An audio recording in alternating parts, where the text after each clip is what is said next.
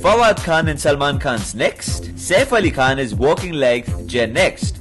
It's like doing a film a year. He did Humshakals in 2014, Phantom in 2015, and this year it will be Rangoon.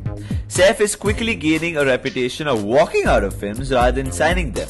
The latest being that he is no longer part of Salman Khan's Jugalbandi, directed by Sameer Sharma. Apparently, Fawad Khan has stepped into the role.